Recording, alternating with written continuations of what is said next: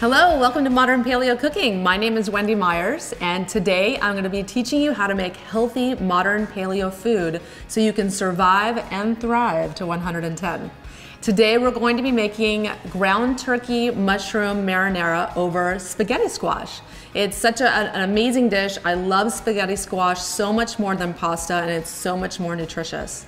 And the ingredients that we need to make this dish are one pound of ground pastured turkey, or you just use organic if that's all you can get where you are. Um, we're going to need our mushrooms, which we need about, you know, 10 to 20 mushrooms. Um, I chose shiitake and cremini, but you can use any kind of mushrooms. Um, we're gonna need, um, of course, our spaghetti squash that we're gonna roast. Um, then we're going to need our a few cloves of garlic. You can use four. I use eight. I like a lot of garlic in my marinara. Um, we're gonna use some onion. Oh, someone already nibbled on that. and then we're gonna make it easy. We're just gonna, we're not gonna make marinara from scratch. It's too much trouble. We're just gonna throw in a jar of marinara and dress it up and make her pretty. And then you're going to need, uh, just for garnish, some fresh basil and just put it on top, make it look pretty. And then of course, every Italian's mainstay, olive oil. That's it. Let's get started. So we're all set to make our turkey and mushroom marinara. And the first thing we have to do is make this spaghetti squash and put it in the oven. So this is how you do it. You take a cookie sheet or baking pan, whichever you like, and take your spaghetti squash and you gotta cut this sucker up. These things are hard as a rock. So uh, wish me luck. This one. And you're gonna be uh, heating your oven up to uh, 350 degrees. There we go. and uh, like I said, I have a really sharp Japanese knife too. Uh, these things just do not cooperate. There we go. We're starting to get it. Wow, I got it. It's amazing. I was really uh, terrified. Actually, I had a nightmare last night that I cut my finger off while doing the cooking show today uh, cutting this spaghetti squash because I know how hard they are. There we go. There we are. Ah. Okay, and then you gotta scoop out the seeds with a spoon. So just take your, your spoon and just spoon it all out as best you can.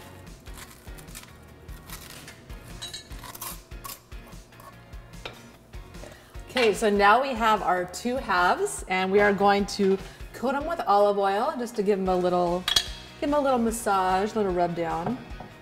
Just so we, we kind of protect the, um, you know, just the exposed part of the squash. And then of course you always want to flavor it with salt. And then uh, because we're going to be turning these over, we're going to be turning them face side down. Um, we're gonna have to do some fork pricks to release the steam that comes out. Let me get a fork. So I'm gonna channel my brother Michael Myers. So you just gotta just poke as many holes in it as you can. There we go. Mission accomplished. And so now put it in your oven that's 350 degrees. And oops, I forgot the tag. Uh, just with a little shopping spree at La Table for the cooking show. And we're gonna put our our little half-baked uh, spaghetti squash into the oven and they'll be done in about 30 to 40 minutes. Now that we have our spaghetti squash in the oven cooking away, we're gonna make the other part of the dish. We're to make our ground turkey. And first you start with a skillet on medium-high heat. And maybe add a little bit of olive oil just so it doesn't stick. Maybe just a, a tablespoon or two. And I need my happy face spatula. Here it is. And so we're going to, see it's so happy, it makes me happy. And so we're gonna coat the pan with olive oil. And that's our oven cooking our spaghetti squash. And then you're just going to kind of um, uh, put this in the pan, kind of, you know, make it so it's not one big gigantic chunk and then you're going to cook it for about five minutes. You want it brown so that there's no more pink left. Um, but you don't need to overcook it. It'll cook a little bit more in the marinara that we're gonna make in a second, or our jar of marinara that we're gonna fancy up. And so just let that cook, like I said, for about five minutes. Put it in the pan and just leave it there. You wanna let it brown on one side, and then we're gonna turn it over, let it brown on the other side, and then kind of break it up and then it'll be done. So now our meat has browned a little bit and I'm just kind of hacking away at it like a, you know, like my brother Michael Myers and uh, making, you know, little pieces of it. Um, but you can also choose to make little meatballs. You can just, you know, roll up the little meatballs and cook them in the, in the pan that way if you prefer and just continue turning them until they're brown on the outside. Um, or if you just want, you know, a ground turkey, kind of a bolognese uh, to go with your marinara, then just um, hack away at it until you have lots of little tidbits of turkey. And then your turkey should look about like this when you're finished. Um, you just want to hack up all the, the bigger pieces and make sure there's no pink inside. And voila, we're done. So now we're gonna set this aside and cook our mushrooms, and then at the end, everything's gonna go in the big pot with the marinara. Now we're set to make our mushrooms. You're gonna need a big pan uh, because the mushrooms take up a lot of room. So first we're gonna put in our olive oil, about two tablespoons. Uh, the mushrooms take up, they soak up a lot of oil, so you'll probably have to continue, be continuing to add oil to the mushrooms as they cook. Um, so we are going to, you know, coat our pan, bottom of our pan with that, and then add our pretty little mushrooms all sliced up. And these will take a little while to cook down.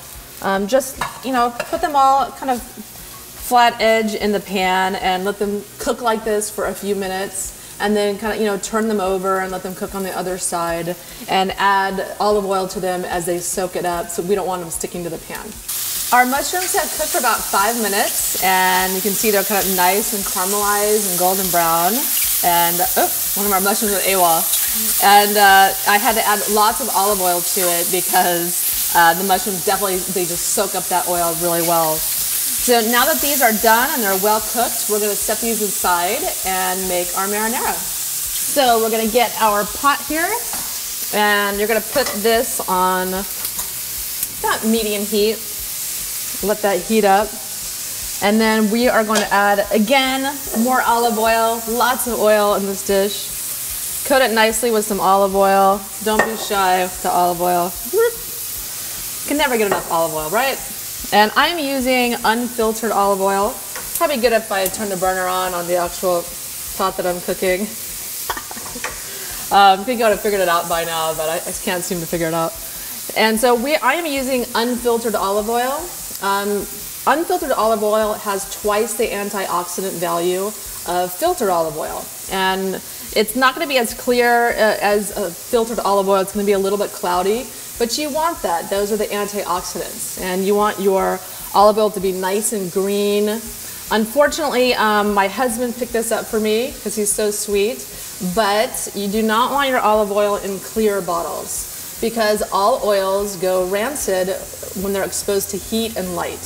So you always want your olive oil in a dark bottle, any kind of oil you buy in a dark bottle to protect it, protect the antioxidant value. Whole Foods is a wonderful, um, inexpensive, dark bottle, unfiltered organic olive oil that I recommend. And so now that our oil is heated up, we're going to add our onions and we're going to caramelize them a little bit so they have a little bit more flavor. So add those. You're going to have to cook them for about five minutes uh, to get them. You want to cook them until they're translucent. And then we're going to add in our garlic for about a minute. You don't want to uh, just only want to cook the garlic for one minute because you'll, you'll get kind of a burnt taste, and we don't want that. We just want some fresh garlic flavor. And let me get a spatula. This one's a little too short. So um, I'm risking life and limb here. I'm gonna get getting kind of burned. So we're gonna let that cook for a little bit, and then we're gonna add our garlic, and then we're gonna add our jar of mushroom, or two jars if you prefer, and then we're gonna add our mushrooms that we cooked and add our turkey, and that's it. It's so easy. Now we have cooked our onions. They're nice and translucent, ready to go. So we're gonna add our garlic. Um, the recipe calls for four cloves of garlic. Um, I love garlic, so I chopped up eight cloves because I love garlic breath. So we're gonna put that in and cook it for just a minute. Make sure you stir it around so it doesn't stick to the bottom of the pan and burn like it's doing right now. so just toss it around for about a minute and then we are going to add our, we're gonna add our sauce to it. So just add your sauce in there. Oh. And then we're gonna add our, we're just gonna heat everything up together and it'll be done to pour over the spaghetti sauce. So grab your, your mushrooms. Mm, that smells so good. And then, these pans are really heavy. I'm like spreading my wrist. Okay, and then we're gonna add our turkey. And then just mix it all up. And that is it. And like I said, add a, a second jar of marinara if you want to um, make it a, make it um, you know more more saucy. In fact, Laren, could you hand me that jar of sauce right there? Sure. Laren's our lovely director. So we're gonna take our cheap old ragu and ruin the dish, but it's okay. You won't taste it because of all of our fine ingredients that we added to it. And uh, that's it. Yeah, this definitely needs two jars. And that is how you make your marinara. It's so easy. Hello everyone, we're back. And look, we have a cameo appearance from Winter, my daughter. Isn't she cute? Smiley face. Yeah, she's making a smiley face. Say hi to everybody. Hi everybody. Winter just turned four and she's gonna help me finish our dish. So Winter, stay right here. Our spaghetti squash is done, and I'm gonna go grab it right now. Yes, with a smiley face. Mommy's gonna get the spaghetti squash. Here we go. Yum, yum, yum. Okay, so now we are ready to start scooping. Um, basically, you take your, your spaghetti squash half. It's nice and steaming right there and you just scoop it out into your dish. That's all you do. And that makes uh, these little spaghetti strands you can see, and they're nice and crunchy and flavorful and nutritious as well. And hot, very hot. so here we go. I'm gonna try to scoop the rest of this out without burning myself. Winter, look, mommy's scooping. Okay, now we're gonna do the other side. Scoop, scoop, scoop. Oh, um, but I am burning myself, so I'm gonna set it down and scoop. Scoop away. You wanna help me scoop, Winter? Okay. Okay. It. Uh, You wanna try some? Um, nope. Nope, why not? I want to make smiley face pizza. You, oh, you wanna make smiley face pizza? Gluten-free smiley face pizza. That's what we're gonna make later. So right now we are, Winter, we are making spaghetti squash and we're scooping out our little squashes. Ow. Okay, and now, Winter, you want to do the honors? We are going to ladle our yummy tomato sauce. Mmm, smell that, Winter. What do you think? Smells good? You think it smells good? Okay, now you take your ladle and then put it over the spaghetti squash like that. Mmm, ooh, yes. Perfect. Very good, Winter. Thank you. And we're all done now. No, we're all done. No more. Thank you. We need just a little bit more. And that is how you make our turkey and mushroom marinara with spaghetti squash uh, spaghetti. Thank you so much for watching Modern, Modern Paleo Cooking. My name is Wendy Myers, and this is my daughter, Winter. Thank you, Winter. Thank you for helping. Say bye-bye, everyone.